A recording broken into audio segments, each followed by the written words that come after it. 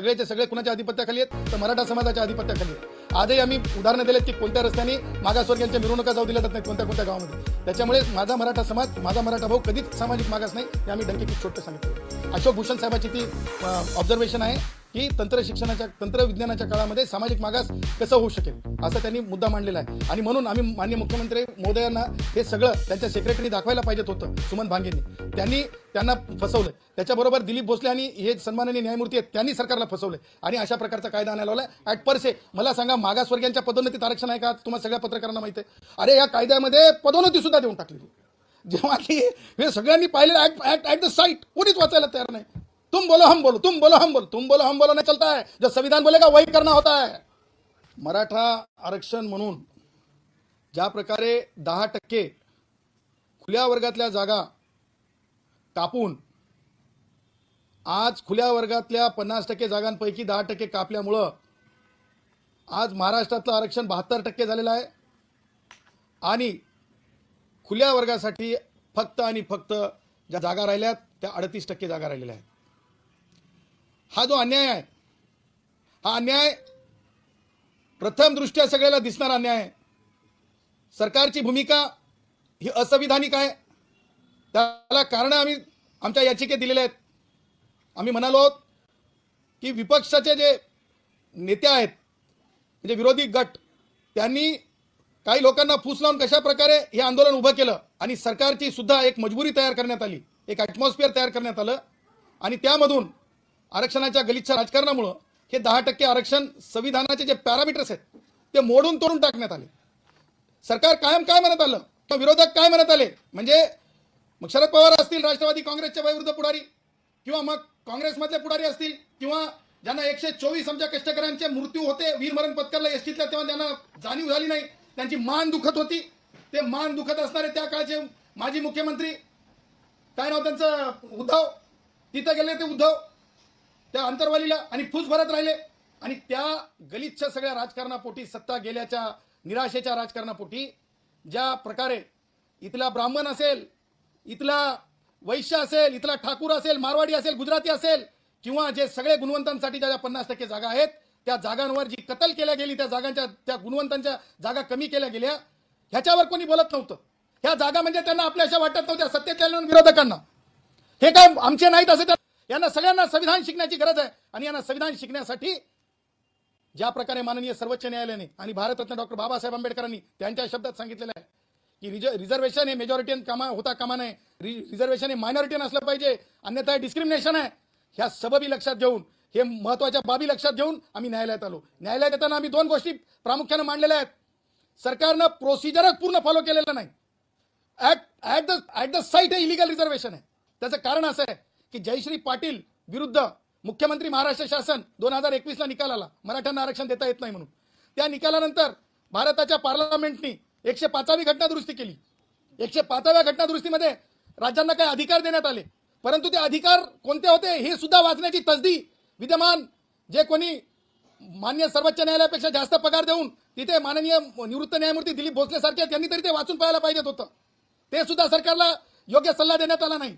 आणि म्हणून आम्ही हे स्पष्टपणे त्यामध्ये नमूद केलेलं आहे की हे reservation at the at the first sight म्हणजे सेपरेट कॅटेगरी करून देण्याचा अधिकारच राज्य सरकारला नाही. परत सांगतो सेपरेट कॅटेगरी करून देण्याचा अधिकार राज्य सरकारला नाही. एकशे बेचाळीसवी घटना दुरुस्ती प्रमाणे सुद्धा नाही.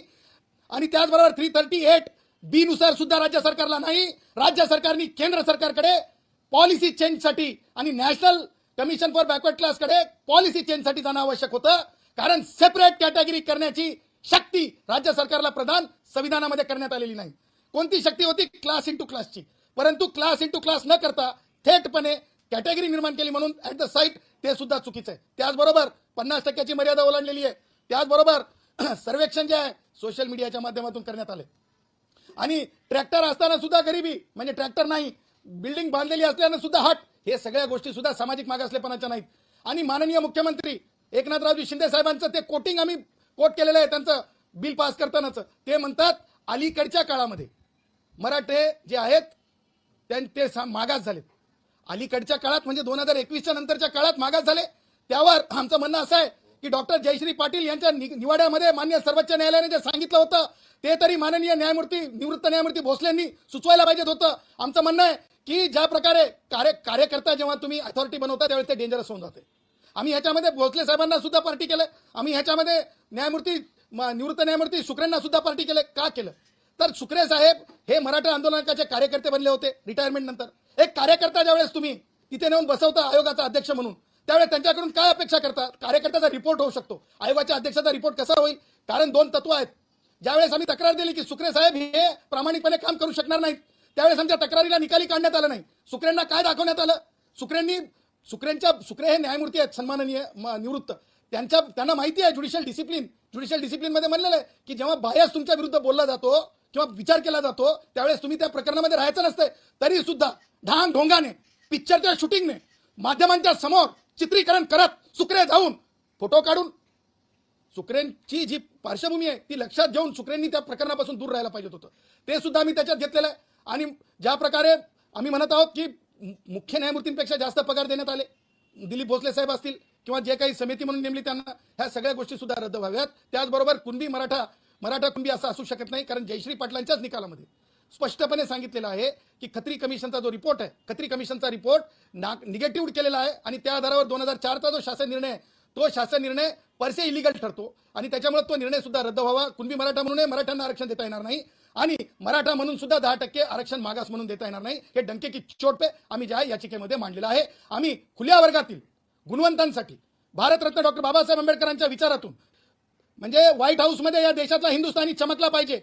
म्हणजे म्हणजे साता समुद्रा पार ही गुणवत्ता दिसली पाहिजे गुणवंतांसाठी. आम्ही हे चॅलेंज केलेलं आहे. ब्राह्मण असणं गुन्हा नाही क्षत्रिय असणं गुन्हा नाही वैश्य असणं गुन्हा नाही मारवाडी असणं गुन्हा नाही आणि जैन असणं गुन्हा नाही खुल्या वर्गात असणं ओपन कॅटेगरीमध्ये असणं गुन्हा नाही. आज एवढ्या कमी जागा राहिल्यात विद्यार्थी रडत आहेत आणि आमच्यासारख्यांची मुलं जी आरक्षणाचा लाभ घेत नाहीत आमच्यासारख्यांची. याचिका का दाखल करावं लागली डायरेक्ट कारण आमची मुलं आरक्षणाचा लाभ घेत नाहीत.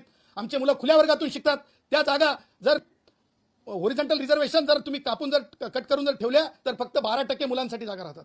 आणि मुलींसाठी फक्त तेहतीस टक्के जागा राहतात.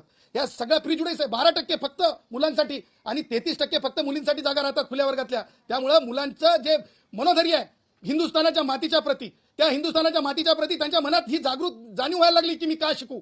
एक आता परत जातीचा उल्लेख करून म्हणजे जरंग्यासारखं मला कोणाला म्हणजे हिनवायचं नाही परंतु मला सांगायचं आहे सरकार सोलापूरमधून विद्यार्थी फोन करत आहेत पुण्यातून फोन करत आहेत नाशिकातून फोन करत आहेत नुसते ब्राह्मणाचेच नाही तर वंजारी भाऊ सुद्धा फोन करत आहेत.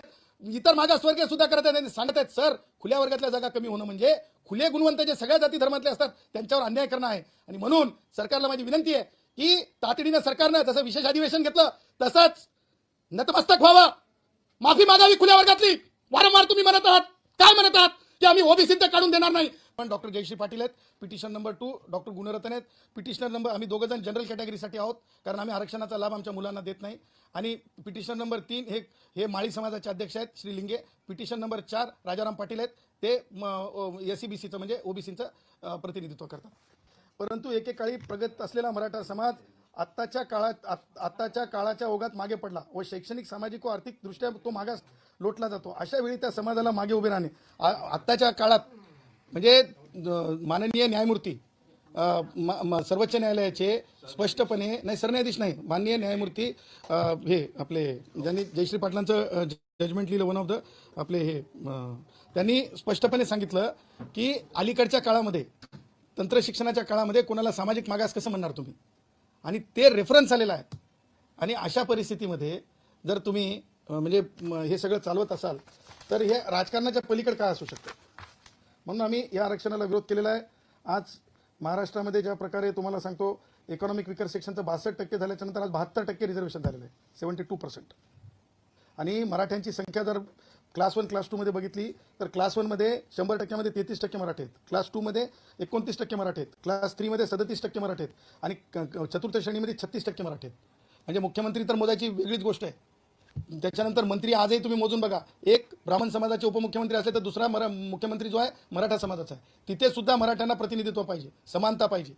आणि मागासले पण कसलं मागासले पण. आम्ही सांगितलंय की आज महाराष्ट्रामध्ये जेवढेही ग्राम ग्रामीण भाग आहे आदिवासी प- बहुल भाग सोडून आणि सामाजिक मागास भाग सोडून सगळे मारुती भगवान मा- मारुतीचे मंदिर असतील महादेवाचे मंदिर असतील ते सगळेचे सगळे कुणाच्या अधिपत्याखाली आहेत? तर मराठा समाजाच्या अधिपत्याखाली आहेत. आजही आम्ही उदाहरणं दिलेत की कोणत्या रस्त्याने मागासवर्गीयांच्या मिरवणुका जाऊ दिल्या जात नाही कोणत्या कोणत्या गावामध्ये. त्याच्यामुळे माझा मराठा समाज माझा मराठा भाऊ कधीच सामाजिक मागास नाही हे आम्ही डंके छोटपे छोट सांगितलेलं आहे. अशोक भूषण साहेबाची ती ऑब्झर्वेशन आहे. की तंत्र शिक्षणाच्या तंत्रविज्ञानाच्या काळामध्ये सामाजिक मागास कसं होऊ शकेल? असं त्यांनी मुद्दा मांडलेला आहे. आणि म्हणून आम्ही मान्य मुख्यमंत्री मोदयांना हे सगळं त्यांच्या सेक्रेटरी दाखवायला पाहिजेत होतं सुमन भांगेंनी.